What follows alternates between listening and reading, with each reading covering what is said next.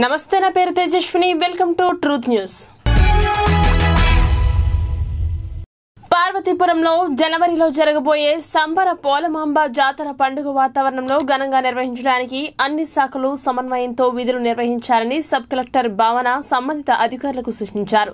జాతరకు సంబంధించి అన్ని శాఖల అధికారులతో sub collector Bhavana ITDA project అధికారి కోర్మన సమీక్ష సమావేశం నిర్వహించారు. ఈ సందర్భంగా సబ్ కలెక్టర్ భావన మాట్లాడుతూ జనవరి ఇరవై నాలుగవ తేదీ నుండి ఇరవై ఆరవ తేదీ వరకు ఫిబ్రవరి ఒకటవ తేదీన జరగనున్న జాతర ఉత్సవంలో అమ్మవారి దర్శనం అందరికీ జరిగే జరిగేలా ఏర్పాట్లు చేయాలన్నారు. మాస్క్ ధరించడం విధిగా పాటించేలా అందరూ చూడాలన్నారు. జాతర నేపథ్యంలో పారిశుద్ధ్య నిర్వహణపై ప్రత్యేక దృష్టి సారించాలని చెప్పారు. పండుగ రోజు నిరంతరం తాగునీటిని సరఫరా చేయాలని ఆర్డబ్ల్యూఎస్ అధికారులను ఆదేశించారు. రహదారులు డ్రైనేజీ మరమ్మతులు చేసి లైటింగ్ ఏర్పాటు చేసి సుందరంగా తీర్చిదిద్దారన్నారు. క్యూ లైన్లు బారికేడింగ్ సక్రమంగా ఏర్పాటు చేయాలని రోడ్లు మరియు భవనముల శాఖ అధికారులను ఆదేశించారు. ఈ సమావేశంలో దేవాదాయ శాఖ సహాయ commissioner J Vinod Kumar divisional panchayat అధికారి ఉత్సవ కమిటీ సభ్యులు తదితరులు పాల్గొన్నారు.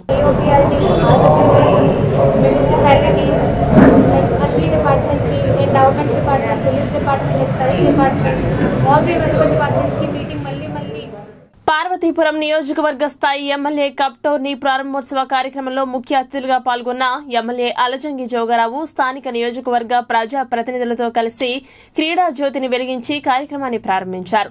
అనంతరం వివిధ పాఠశాలలు కళాశాలల నుంచి వచ్చిన విద్యార్థులచే పలు సాంస్కృతిక కార్యక్రమాలు నిర్వహించారు. నృత్యం యోగా త్వైకొండ వంటి వేదికపై ప్రదర్శించారు. ఈ ప్రదర్శనలో పాల్గొన్న క్రీడాకారులందరికీ ఎమ్మెల్యే చేతుల మీదుగా జ్ఞాపికలను ప్రదానం చేశారు. అనంతరం ఎమ్మెల్యే మీడియాతో మాట్లాడుతూ దేశంలో చాలా ప్రతిభ గల క్రీడాకారులు ఉన్నారని అలాంటి వారిని గుర్తించి మంచి శిక్షణ అందిస్తే దేశం గర్వించదగ్గ క్రీడాకారులుగా ఎదిగే అవకాశాలు ఉన్నాయన్నారు. మన రాష్ట్ర ప్రీత ముఖ్యమంత్రి సీఎం కప్ ఇనాగ్రేషన్కి రాష్ట్రంలో ప్రతి విద్యార్థి క్రీడా స్ఫూర్తితో కలిపి మానసిక వికాసం కూడా కావాలన్న ఆలోచనతో జాతీయ ఐక్యత ఈ నేషనల్ ఇంటిగ్రిటీని పెంపొందించడానికి ఇది ఒక అవకాశంగా వాడుకొని పిల్లల్లో ఉండే నైపుణ్యతను బయటకు తీసి ఈ భారతదేశంలో మంచి ఆటగాళ్ళను తయారు చేసే విధంగా ఈ రాష్ట్రంలో ఉండే ప్రతి గ్రామీణ ప్రాంతంలో ఉన్న క్రీడలను బయటకు తీసి వాళ్ళని ప్రభ ప్రతిభావంతులుగా చేసి ఈ రాష్ట్రానికి ఈ దేశానికి పేరు తెచ్చే విధంగా చేయాలనే ఆలోచనతో మన ప్రీత ముఖ్యమంత్రి గారు రాష్ట్రం మొత్తం మీద నూట డెబ్బై ఐదు నియోజకవర్గాల్లో కూడా ఎమ్మెల్యే కప్ పేరిట ఏర్పాటు చేయడం జరిగింది. అందులో భాగంగానే ఇది భారతీపురం నియోజకవర్గంలో ఇటువంటి కార్యక్రమాలు ఏర్పాటు చేయడం చాలా ఆనందదాయకం. ఇప్పుడే వాలీబాల్ కోర్టు దగ్గరికి వెళ్ళాం. ఇప్పుడు కబడ్డీ టీము. అలాగే ఇదొక్కటే కాకుండా మీ దగ్గరున్న ప్రతి నైపుణ్యాన్ని బయటకు తీసి ఈ భారతదేశానికి ఈ ఆంధ్ర రాష్ట్రానికి గర్వించదగిన క్రీడాకారులుగా ఉండి మీ శారీరక దారుణ్యాన్ని కాకుండా మీరు మరింత మెరుగైన జీవన విమా- ప్రమాణాలు పెంచుకోవడానికి ఈ క్రీడా స్ఫూర్తి ఉండాలని చెప్పేసి ప్రతి ఒక్కరిని కోరుకుంటూ ఈ కార్యక్రమాన్ని ప్రారంభించవలసిందిగా కోరుచున్నాం. తాడేపల్లిగూడెం సబ్ రిజిస్టర్ కార్యాలయంలో విజిలెన్స్ ఎస్పీ వరదరాజుల ఆధ్వర్యంలో పి వన్ బుక్స్ టీఐ రిజిస్టర్ల మాయంపై సోదాలు నిర్వహించారు. నిన్న రాత్రి నుండి విజిలెన్స్ డీఎస్పీ సిఐ ఎస్ఐ స్థాయి అధికారులు ఈ సోదాల్లో పాల్గొన్నారు. గతంలో పనిచేసిన తాడేపల్లిగూడెం సబ్ రిజిస్టర్ కార్యాలయంలో కొన్న అమ్మిన కాగితాల కుంభకోణం నేపథ్యంలో ఒక మహిళా ఉద్యోగిపై ఆరోపణలు రావడంతో ఆ మహిళా ఉద్యోగిని వేరొక చోటికి ట్రాన్స్ఫర్ చేయడం జరిగింది. అయితే ప్రస్తుతం ఉన్న సబ్ రిజిస్టర్ నేను ఛార్జ్ తీసుకునే సమయానికి కొన్ని ఫైళ్ళు నాకు అప్పచెప్పడం జరిగిందని మిగతా ఫైళ్ళ గురించి నాకు తెలియడం లేదని చెప్పారు. దీనిపై సమాచారం తెలుసుకునేందుకు విజిలెన్స్ ఎస్పీ వరదరాజులను వివరణ కోరగా మేము ప్రభుత్వానికి సమగ్ర నివేదిక ఇవ్వాలని సమాధానం దాటవేశారు.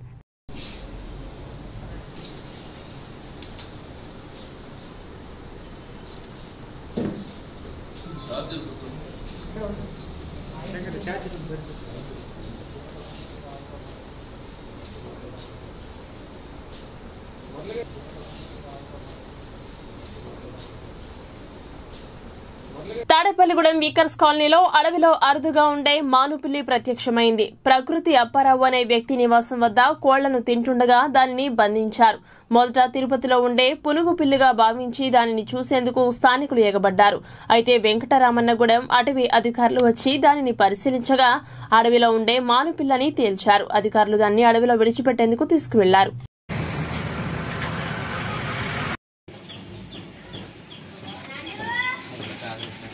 అది అక్కర్లేదు మీ తర్వాత అక్కర్లేదు పేపర్లు ఉంటాయండి.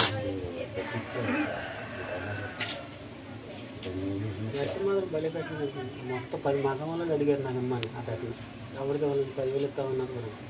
నేను పెట్టుకున్నాను దీని రుణం ఉంది ఇవన్నీ ఎలా కొట్టించిందండి?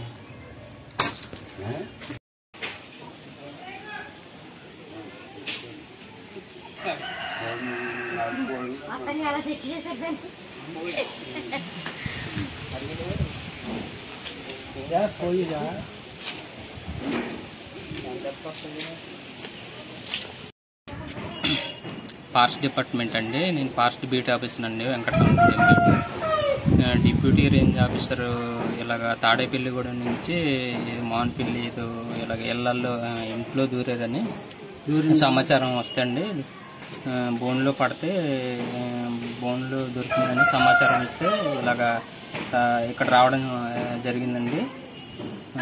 జరిగి ఇది మళ్ళీ అడవిలో వదిలేయడానికి మేము ఈ దగ్గర తీసుకోవడం తీసుకోవడం జరిగిందండి. చాలండి. విశాఖ జిల్లా ఏజెన్సీ మారుమూల ప్రాంతమైన పెదబైలు మండలంలో పాతరుడకోట అనే గ్రామం ఉంది. ఈ గ్రామాన్ని పంచాయతీ హెడ్ క్వార్టర్స్గా ఏర్పరిచి గ్రామ సచివాలయ కార్యాలయం కూడా ఏర్పరిచారు. ఒక ప్రాథమిక ఆరోగ్య కేంద్రం కూడా ఉంది. అయినప్పటికీ శిశు మరణాలు అమాంతంగా పెరుగుతున్నాయి. ఈ గ్రామంలో రెండు వేల పంతొమ్మిది నుండి రెండు వేల ఇరవై ఒకటి వరకు పదిహేను మంది పుట్టిన వెంటనే మరణిస్తున్నప్పటికీ అధికారులకు చీమ కుట్టినట్టు కూడా లేదని గ్రామస్తులు వాపోయారు. అనేక ప్రింట్ మీడియా టీవీ ఛానల్స్లో కథనాలు వచ్చినప్పటికీ ఏ ఒక్క అధికారి కూడా కనీసం మానవత్వంతో ఆ గ్రామానికి వచ్చి సందర్శించిన దాఖలాలు లేవని వాపోయారు. వైద్య సిబ్బంది ఇప్పటికైనా స్పందించి గ్రామంలో శిశు మరణాల సమస్యను పరిశీలన చేసి మా శిశువులను రక్షించవలసిందిగా ప్రభుత్వాన్ని కోరారు. గ్రామానికి చెందిన పప్పుల నాగేశ్వరరావు మాట్లాడుతూ శిశు మరణాలు పెరుగుతున్నప్పటికీ ఏ అధికారి కూడా స్పందించలేదని చెప్పారు. ఈ విషయాన్ని తెలుసుకుని సిపిఎం పార్టీ బొండా సన్నిబాబు ఆ గ్రామానికి వెళ్ళి వివరాలపై ప్రభుత్వాన్ని హెచ్చరించారు. మా ఊర్లో చాలా మంది పిల్లలు పంతొమ్మిది నుంచి రెండు ఇరవై ఒకటి వరకు పిల్లలు చనిపోతున్నారు. నేటి నుంచి వచ్చి కనీసం పదహారు మంది పిల్లలైనా కనీసం పదహారు మంది పిల్లలైనా కనీసం ఏ అధికారులు కూడా పట్టించట్లేదు ఎవరేం చేయించట్లేదు. ఏంటంటే గర్భిణీ స్త్రీలు కూడా ఇక్కడ నుంచి ఉండి భయ- భయభక్తితో పక్క ఊర్లకు వెళ్ళిపోతున్నారు. అలాగే కనీసం ఏ అధికారులు కూడా పట్టించడం లేదు. ఏటి కూడా అయిందో మా ఊరికి ఏటైందో తెలియదు. మా అధికారులు కూడా పట్టించుకోవడం లేదు రావడం లేదు. మా సమస్యల ప్రభుత్వం ఏదో మాకు పట్టించుకుంటే మేము కోరుతున్నాం. చెప్పు. గట్టిగా చెప్పు. గట్టిగా చెప్పండి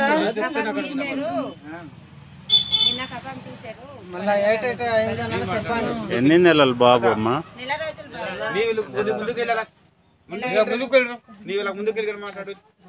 నెల రోజు బాగానే ఉండి చనిపోయారా? బాగానే అన్ని రకాలు బాగానే ఉండి పాలు తాగుతుండేవాడు? పాలు తాగుతూ చనిపోయాడు. ఇంతకు ముందు ఏమైనా అలా బాబు పుట్టి ఏమైనా చనిపోయారా? చనిపోయారు ముందుకు కూడా. ఎప్పుడమ్మా? పోయిన సంవత్సరం. పోయిన- సంవత్సరం. అయిందమ్మా. సంవత్సరం అయింది. రెండో సంవత్సరం రెండు రెండు సంవత్సరాలు మూడు సంవత్సరాలు అయిపోతుంది. ఏ సంవత్సరం. రెండు సంవత్సరాలు. ఈ సంవత్సరంతో రెండు సంవత్సరాలు అయింది. రెండు సంవత్సరాలు అయింది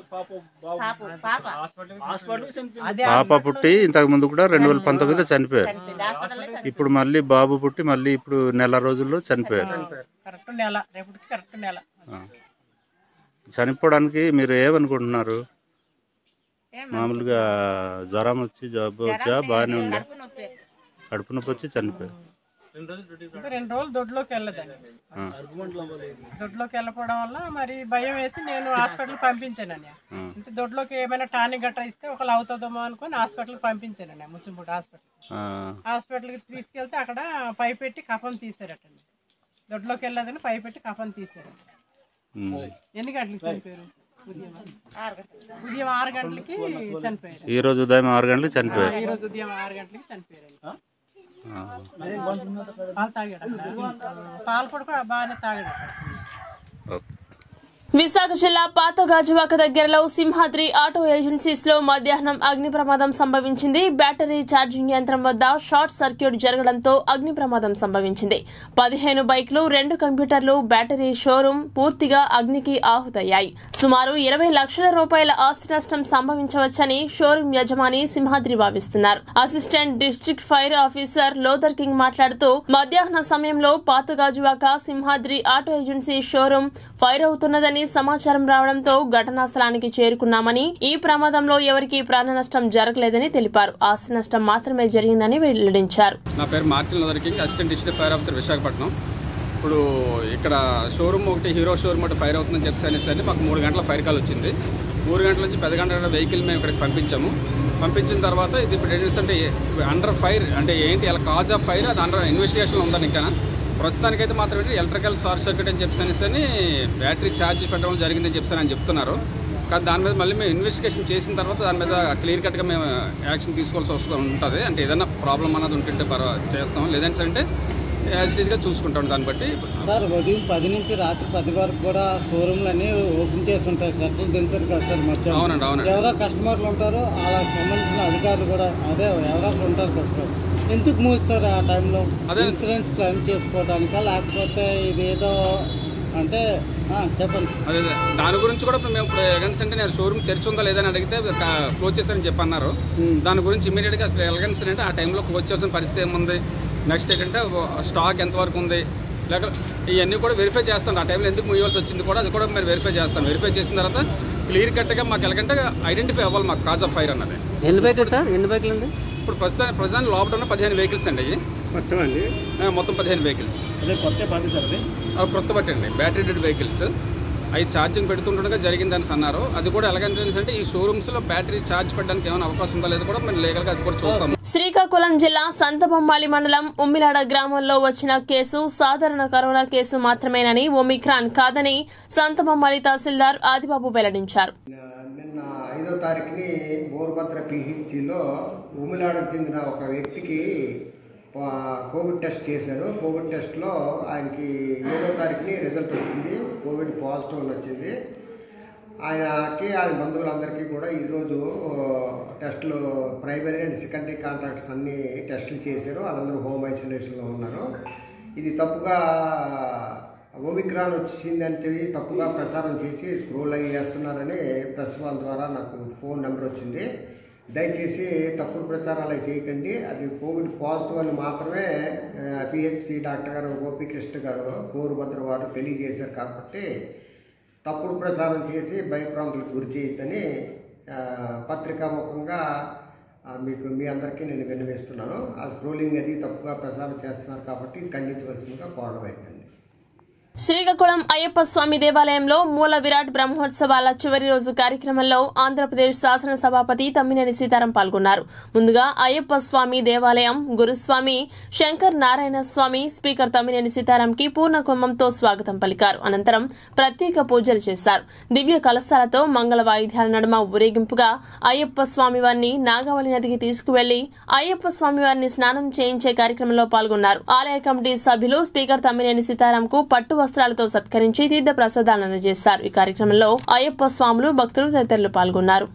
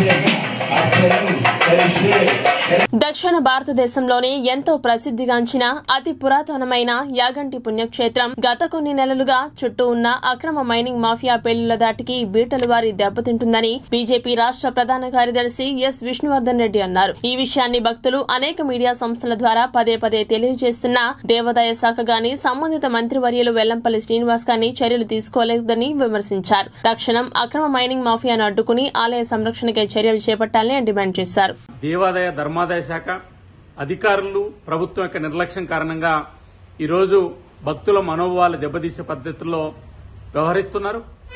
రాయలసీమలో ఉన్నటువంటి ఒక పవిత్రమైనటువంటి చరిత్ర కలిగినటువంటి ఒక యాగంటి దేవాలయానికి సంబంధించి కొంతమంది మైనింగ్ చేసినటువంటి కారణంగా ఆ ప్రాంతాల్లో పెద్ద ఎత్తున అక్రమ మైనింగ్ వల్ల బాంబ్ బ్లాస్ట్ వల్ల ప్రధాన దేవాలయం దెబ్బతినటువంటి పరిస్థితి. ఈరోజు దేవాలయానికి సంబంధించి ఏ సమయంలో కూలుతుందో తెలియనటువంటి పరిస్థితి ఉంది. ఈ సందర్భంలో దేవాదాయ శాఖకు సంబంధించినటువంటి అధికారులు కానీ లేదా మంత్రి కానీ ఆంధ్రప్రదేశ్లో హిందువుల మనోబలను దెబ్బతీసే విధంగా వ్యవహరిస్తున్నారు. ఈరోజు ఆంధ్రప్రదేశ్ దేవాదాయ శాఖ మంత్రి ఎల్లంపల్లి శ్రీనివాస్ గారు వాళ్ళ అధికారులు ఈ రకమైనటువంటి దేవాలయాల మీద ఎందుకు దృష్టి పెట్టారని నేను అడుగుతున్నా. దేవాలయాల ఆదాయాలకు మార్గాలు కాదు. భక్తులు ఇచ్చేటువంటి కానుకలు ఆ దేవాలయ అభివృద్ధి చేయాలి. ఎందుకు వాటిని పట్టించుకోవడం లేదు? అదేవిధంగా దేవాలయాలకు సంబంధించినటువంటి స్వాములు లేకపోతే అర్చకులు సంబంధించినటువంటి కానుకలు సంబంధించిన విషయంలో బహిరంగంగా బోర్డులు పెట్టి మేము జీతాలు ఇస్తున్నాం మీరు కానుకలు వేయాల్సిన అవసరం లేదు చెప్పేటువంటి ప్రభుత్వం హుండీ ఆదాయం మీద మాత్రమే దృష్టి పెడుతుందని అడుగుతున్నా. కాబట్టి యాగంటికి సంబంధించినటువంటి ఆలయాన్ని తక్షణం ఐదు కోట్ల రూపాయలతో అభివృద్ధి చేయకపోతే భారతీయ జనతా పార్టీ ఆందోళన చేపడుతుంది. రాష్ట్రంలో ఈ రకమైనటువంటి దేవాలయాన్నిటికి సంబంధించి కూడా ఒక మాస్టర్ ప్లాన్ తయారు చేసి రక్షించాలని చెప్పి ఆంధ్రప్రదేశ్ బీజేపీ డిమాండ్ చేస్తుంది.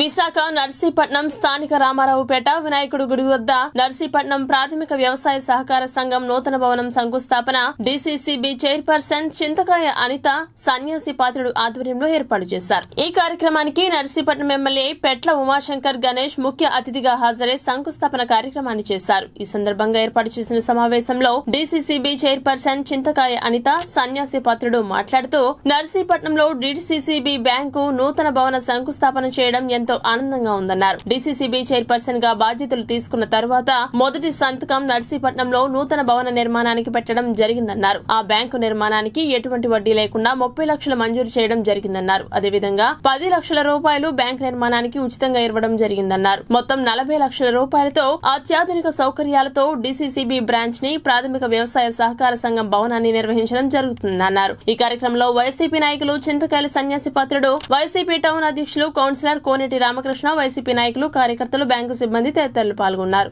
ఎన్నో సంవత్సరాలు పెట్టి ఎదురు చూస్తున్న ఈ సొసైటీ బిల్డింగ్ మా చేతుల మీదుగా జరగడం చాలా ఆనందదాయకంగా ఉంది. ఎందుకంటే వీళ్ళ తాతగారైన లక్షాపాత్రుడు గారు వరాలదారి గారు కూడా ఈ సొసైటీ ప్రెసిడెంట్గా చేశారు. గత గత మున్సిపాలిటీలో అంటే పంచాయతీలో కూడా వాళ్ళు చేసిన పనిచేసిన కార్యాలయాల్లోనే నాకు పదవి దక్కడం కూడా నా అదృష్టంగా భావిస్తున్నాను. మన ప్రాంతానికి డీసీసీబీ చైర్మన్ ఇవ్వడం ఇవ్వడం మా అదృష్టంగా భావించి మన ప్రాంతాన్ని అభివృద్ధి అంటే వ్యాపారపరంగా మన బ్రాంచ్ని సొసైటీని ముందుకు తీసుకెళ్ళాలని ఉద్దేశంతో ఉన్నాము. అదేవిధంగా జిల్లాలో అందరి నాయకులతో కూడా కలుపుకొని ఎమ్మెల్యేస్ ఎంపీలతో అందరినీ కలుపుకొని ఇంకా రైతులకి అందుబాటులో ఉండేలాగా మా సేవలు అందించాలని మేము అందరికీ అందుబాటులో ఉండేలాగా తగిన చర్యలు కూడా తీసుకుంటున్నాము. ఈ కార్యాలయం ప్రారంభించడానికి మేము మొట్టమొదటిగా సంతకం చేసింది ఈ బిల్డింగు పెట్టాలని. సీఈఓ గారు కూడా వెంటనే స్పందించి అధికారుల చేత తొందరగా ఫైల్ కదిలించి ఆప్కాపు పంపడం కూడా జరిగింది. ఈరోజు కార్తీక మాసంలో చేయాలనుకున్నాము. కొద్దిగా అంటే మేము బయటికి అసలుకి అవి వెళ్ళడం వలన కొద్దిగా లేట్ అయింది. ఈ రోజు ఎనిమిదో తారీఖు ముహూర్తం వచ్చింది. ఈ ముహూర్తానికి కొబ్బరికాయ కొట్టేసి పనులు ప్రారంభించడం కూడా జరుగుతుంది. బిల్డింగ్ కూడా వెంటనే ఎంత తొందరగానో ప్రారంభించాలని కూడా ప్రారంభించి ఇంకా పనులు త్వరితగతిగా చేయాలని కూడా మన సీఈఓ గారికి మేము చెప్తున్నాం. అలాగే సొసైటీ ద్వారా రైతులకి అందుబాటులో సేవలు అందించాలని ఈ బ్రాంచ్ ద్వారా సొసైటీ ద్వారా ఎక్కువ రుణాలు మంజూ మంజూరు చేయాలని కూడా మేము మన ప్రెసిడెంట్ గారిని కూడా కోరుతున్నాము ఎందుకంటే ఈరోజు చాలా శుభదినం. మంచి రోజు కూడా. మరి ఎంతో కాలం నుంచి శిథిలమైపోయిన మన ప్యాక్ బిల్డింగ్ అదే ప్రాథమిక వ్యవసాయ సహకార శాఖ భవనం గతంలో ప్రభుత్వాలు ఎన్నో ప్రయత్నాలు చే- చేసినప్పటికి కూడా మరి అప్పట్లో ప్రభుత్వం నుంచి ఎటువంటి స్పందన లేకపోయింది. మన దృష్టికి వెళ్ళి జగనన్న మరి మా మీద నమ్మకంతో సెంట్రల్ బ్యాంక్ చైర్మన్గా అందుకు ఇవ్వడం. ఇచ్చిన first మీటింగ్లోనే Narsipatnam bank society cum branch branch కూడా ఇక్కడ వస్తుంది. బ్రాంచ్ ఆల్రెడీ వెంకటాద్రి రాజ్యంలో ఉంది. అలా కాకుండా రెండు ఒకే దగ్గర పెట్టాలని చెప్పేసి ఆలోచనతో మనం మేము తీర్మానం చేయడం కూడా జరిగింది. డైరెక్టర్ జమీలి గారి కానీ అనితి గారి వీళ్ళంతా ఆధ్వర్యంలో. అదేవిధంగా తీర్మానం కాపీని కూడా ఎండి శ్రీనాథరెడ్డి గారికి పంపించాం. శ్రీనాథరెడ్డి గారికి కూడా బాగా పరిచయిస్తుంది నాకు. అదేవిధంగా ఆప్కాప్ చైర్మన్ కూడా ఝాన్సీ రాణి గారు కూడా బాగా క్లోజ్ ఫ్రెండ్స్ మాకు. కాబట్టి అమ్మ మరి ఈవేళ మా బ్యాంక్ పరిస్థితికి ఏం బాగలేదు కాబట్టి తప్పగా చేయాలంటే వాళ్ళు మా సీఎంఓ గారు కానీ జిఎం గారు కానీ మొత్తం అధికారుల ప్రోత్సాహంతో నలభై లక్షల రూపాయలు దీనికి శాంక్షన్ చేయడం జరిగింది. కింద సొసైటీ పైన బ్రాంచ్ లేదు. కింద బ్రాంచ్ పైన సొసైటీ ప్లాన్ కూడా ఇప్పుడు చేసాం అది కూడా అదృష్టం ఏంటంటే మనకి ముప్పై లక్షల రూపాయలు కూడా వడ్డీ లేకుండా డబ్బు ఇచ్చారు. ఎక్కడ కూడా సాధారణకి జరగదు. అది ఆ ఘనతంతా కూడా మా సీఈఓ గారిది అని చెప్పాలి. ఎందుకంటే మన పైసా కూడా మనకి ఇంట్రెస్ట్ లేకుండా మనం డబ్బులు కట్టడమే. పది లక్షల రూపాయలు ఫ్రీ. పది లక్షల రూపాయలు కూడా ఫ్రీ. అది మనకు కూడా కట్టాల్సిన లేదు. కాబట్టి మనకి ముప్పై లక్షల రూపాయలతో అధినాథ భవనం తయారు చేసుకోవడానికి అవకాశం ఉంది. వాల్యుబుల్ సైట్ ఇది. దీనిని ఎంతో చాలా మంది పెద్దలందరూ కూడా మరి ఇక్కడ లక్షాబాద్ గారు కానీ తంగేరు రాజు కానీ వారందరూ కూడా ఇది ఇదే ప్రాంతం నుంచి ఇదే స్థలం నుంచి రైతులకు సేవ మన సంస్థ ద్వారా సేవలు అందించాలనే ఉద్దేశంతోనే ఆయన ఈ సొసైటీలకి ఎక్కువ గ్రాంట్స్ ఇవ్వడం కూడా జరుగుతుంది. ఆయన ప్రతి వీడియో కాన్ఫరెన్స్లోనూ టెలికాన్ఫరెన్స్లో కూడా అదే చెప్పడం జరుగుతుంది. రైతులకు అందుబాటులో ఉండాలనే ఉద్దేశం చెప్పడం జరుగుతుంది. కాబట్టి మన సొసైటీ ద్వారా ఇంకా రైతులకు మరిన్ని సేవలు అందించాలని కోరుతున్నాము. రైతులకి ఇంకా ఎక్కువ రుణాలు ఇచ్చేలాగా మేనేజర్ ద్వారా కూడా ఇక్కడ ఇక్కడే లోన్లు తొందరగా అయితే మనకి వ్యాపారపరంగా ఇంకా ముందుకు వెళ్ళడం జరుగుతుంది. ఇంత ముందులాగా వైజాగ్ ఐదు లక్షలకి ఫైల్ ఇవ్వడం జరిగేది. ఇక్కడ మేనేజర్తోనే ఇక్కడ ఐదు లక్షలతోటే మనకి లోనింగ్ అయిపోతుంది కాబట్టి అందరూ కూడా ఈ అవకాశాన్ని వినియోగించుకోవాలని కోరుతున్నానండి. డిపాజిట్స్ కూడా బాగా ఉన్నాయి. ఇంకా వ్యాపారం పెంచాలని చెప్పేసి ఆలోచన ఉంది. మొన్న కూడా ఆప్కాప్ చైర్మన్ మీటింగ్లో కానీ నాబార్డ్ చైర్ మీటింగ్లో కూడా ఎంత చెప్పినా రైతుకి చేయండి రైతుకి ఎంత చేసినా మనం చేయలేం రైతుకి చేయాలి మనం అంతైనా? ఏ పథకం పెట్టినా రైతు వరకు అయితే నా నుంచి నాకు ఇబ్బంది ఉండదు. నేను తెలుగువాడిని కాబట్టి ఒక మంచి బిల్డింగ్ని తీసుకొచ్చినందుకు ఆనందంగా ఉంది. చూస్తున్నాం మనం ఈ పథకాల్లో వారు పథకాల్లో ఫిఫ్టీ పర్సెంట్ రైతు ఇరిగేషన్ చదువు మా వైద్యం దాని మీద వారు ఎక్కువ శ్రద్ధ చూపుతున్నారు. నెల్లూరు జిల్లా ఆత్మకూరు పట్టణంలో ఏబీవీపీ విద్యార్థి సంఘ నేతల ఆధ్వర్యంలో జీవో నంబర్ డెబ్బై ఏడును రద్దు చేయాలంటూ ఆందోళన చేపట్టారు. జీవో రద్దు చేయాలంటూ సీఎం విద్యాశాఖ మంత్రులకు వ్యతిరేకంగా నినాదాలు చేస్తూ నిరసన ర్యాలీ నిర్వహించి పట్టణంలోని మంత్రి మేకపాటి గౌతమ్ రెడ్డి క్యాంపు కార్యాలయం వద్దకు వెళ్ళి నిరసన తెలిపేందుకు విద్యార్థి సంఘం నేతలు ప్రయత్నించగా వారి ప్రయత్నాన్ని ఆత్మకూరు పోలీసులు అడ్డుకున్నారు. మంత్రి కార్యాలయం ముట్టడికి ప్రయత్నాన్ని అడ్డుకోవడంతో విద్యార్థులకు పోలీసులకు మధ్య తీవ్ర వాగ్వాదం తోపులాట చోటు చేసుకుంది. పోలీసులు విద్యార్థి సంఘం నేతలను అదుపులోకి తీసుకుని పోలీస్ స్టేషన్కు తరలించారు. అనంతరం విద్యార్థి సంఘం జిల్లా నేతలు అశోక్ రాజశేఖర్ మాట్లాడుతూ ప్రభుత్వం ఏకపక్ష నిర్ణయాలు తీసుకుంటూ విద్యార్థుల జీవితాలతో చెలగాటమాడుతోందని పేద విద్యార్థుల ఉన్నత చదువులకు ఆటంకం కలిగించే జీవో నంబర్ డెబ్బై ఏడు వెంటనే రద్దు చేయాలని లేకుంటే ఈ ఉద్యమాన్ని తీవ్రతరం చేస్తామని డిమాండ్ చేశారు. ఏబీవీపీ నెల్లూరు జిల్లా కో అఖిల భారతీయ విద్యార్థి పరిషత్ ఏబీవీపీ రాష్ట్ర శాఖ పిలుపు మేరకు ఈరోజు ఆత్మకూరులో స్థానిక మంత్రి క్యాంపు కార్యాలయం ముందు ధర్నా నిర్వహించాలని చెప్పేసి ఏబీవీపీ కార్యక్రమం చేపట్టింది. శాంతియుతంగా ఈరోజు నిరసన చేస్తా ఉంటే జీవో నెంబర్ డెబ్బై ఎనిమిది తీసుకొచ్చి ఏదైతే డిగ్రీ పూర్తయిపోయిన పీజీ విద్యాలయ ఫీజు రియంబర్స్మెంట్ లేకుండా చేసిన ఈ రాష్ట్ర ప్రభుత్వానికి వ్యతిరేకంగా ఈరోజు శాంతియుతంగా నిరసన చేస్తా ఉంటే ఈ యొక్క పోలీసులు అడ్డం పెట్టుకుని ఈ రాష్ట్ర ప్రభుత్వం ఈ ఉద్యమాన్ని అణిచేయాలని చూస్తా ఉంది. ఈ సీఎం జగన్మోహన్ రెడ్డి గారికి వైసీపీ ప్రభుత్వానికి ఏబీవీపీ ద్వారా ఒకటి హెచ్చరిస్తా ఉన్నాం. నువ్వు కేసులు పెడితే కేసులు భయపడడానికి ఏబీవీపీ కార్యకర్తలు సామాన్య కార్యకర్తలు కాదేమో నువ్వు కేసులు పెడితే కేసులు భయపడేది లేదు. జీవో నెంబర్ డెబ్బై రద్దు చేయకపోతే ఈ రోజు మినిస్టర్ ఆఫీస్ దగ్గర పోవడం కూడా ఆపినేమో రేపు తాడేపల్లిని ఇంటి ముందుకు వచ్చి ఏపీవీపీ నిరసన చేస్తా చెప్పి ఈ సందర్భంగా హెచ్చరిస్తా ఉన్నాం. తక్షణమే పీజీ విద్యార్థులకి అందరికీ కూడా పీజీ రియంబర్స్మెంట్ వర్తింపు చేయాలని చెప్పేసి ఏపీవీపీ డిమాండ్ చేస్తా ఉంది. లేని పక్షంలో రాబోయే రోజుల్లో విద్యార్థుల దమ్మేందో చూపిస్తాం. విద్యార్థులందరూ కూడా ఈ రోజంతా కూడా మాకొద్దు జగన్ మాకొద్దు జగన్ పోవాలి జగన్ నినాదంతో ఇంటింటికి తిరుగుతాం. ఈ రోజు నీకు విద్యార్థులందరి తరపున రెండు వేల ఇరవై నాలుగులో మాజీ అనే ఒక బహుమతిని అందించబోతా ఉన్న జగన్మోహన్ రెడ్డి గారు గుర్తుపెట్టుకోని చెప్పి సందర్భంగా హెచ్చరిస్తా ఉన్నాం. జై హింద్ జై భారత్. ఓకే రాజశేఖర్ అఖిల్ భారతీయ విద్యార్థి పరిషత్ ఏబీవీపీ నెల్లూరు జిల్లా కన్వీనర్ ఈరోజు ఆత్మకూరులో ధర్నా నిర్వహించడం జరిగింది. ఈ యొక్క మ- మంత్రి మేకపాటి గారి ఆఫీస్ ముందు ధర్నా నిర్వహించడానికి గల ర్యాలీగా వెళ్తుంటే విద్యార్థులు ఈరోజు పోలీసులు అత్యుత్సాహం ప్రదర్శించి ఎస్ఐ శివశంకర్ సార్ ఎవరైతే ఉన్నారో అతి ఉత్సాహం ప్రదర్శించి విద్యార్థులను చేసుకున్నటువంటి పరిస్థితి రోజు ఆత్మకూరులో కనపడుతోంది విద్యార్థుల పక్షాన పోరాడి విద్యార్థులకు న్యాయం చేయండి అని చెప్పి అడిగేటువంటి గొంతు నొక్కేటువంటి పరిస్థితి రోజు రాష్ట్ర ప్రభుత్వం చేస్తా ఉంది పోలీసులు అడ్డబెట్టుకుని కాబట్టి ఈ యొక్క చర్యని ఏపీపీ వ్యతిరేకిస్తా ఉంది. రానున్నట్టు రోజుల్లో విద్యార్థుల్ని మీరు ఎన్ని కేసులు పెడితే అన్ని డబుల్ కేసులకి సిద్ధంగా ఉంటారు ఏపీ విద్యార్థి నాయకులు అని చెప్పి ఈ సందర్భంగా హెచ్చరిస్తున్నాము. ఈ రోజు రాష్ట్రంలో విద్యా వ్యవస్థను చూసుకున్నట్టయితే ఈ యొక్క రాష్ట్ర విద్యాశాఖ మంత్రికి విద్యా వ్యవస్థ పైన ఏ ఒక్క కూడా అవగాహన లేకపోవడం సిగ్గుచేటు. ఆయనకు ఉన్నటువంటి ఉన్నటువంటి అవగాహన ఏందంటే ఈ యొక్క రాష్ట్రంలో ఆయనకు ఉన్నటువంటి బీటెక్ కాలేజీలు ఆ బీటెక్ కాలేజీలకు వచ్చేటువంటి ఆదాయం మాత్రం ఆయనకు వచ్చేటువంటి ఉన్నటువంటి అవగాహన. కాబట్టి జీవో నెంబర్ డెబ్బై ఏడుని తీసుకురావడం చాలా సిగ్గుచేటుగా ఈ- ఈ యొక్క రాష్ట్రంలో పీజీ చదివేటువంటి విద్యార్థులకు విద్యా విద్యార్థులకు ఫీజు ఇవ్వకపోవడం చాలా సిగ్గుచేటుగా ఏబీవీపీ పరిగణిస్తా ఉంది. అంతేకాకుండా జీవనం మీ నాయన గారు రెండు వేల ఎనిమిదిలో అధికారంలోకి వచ్చిన తర్వాత అందరూ అందరూ అందరూ ఉన్నత విద్య చదువుకోవాలని చెప్పేసి ఫీజు రియంబర్స్మెంట్ తీసుకొస్తే దానికి తూట్లు పొడిచేటువంటి పరిస్థితి రోజు యొక్క తనయుడు అయినటువంటి మీరు జగన్మోహన్ రెడ్డి గారు చేస్తా ఉన్నారు. కాబట్టి తండ్రిని మించిన తనయుడిని తండ్రిని మించిన నాయకుని అవుతానని చెప్పి చెప్పారు.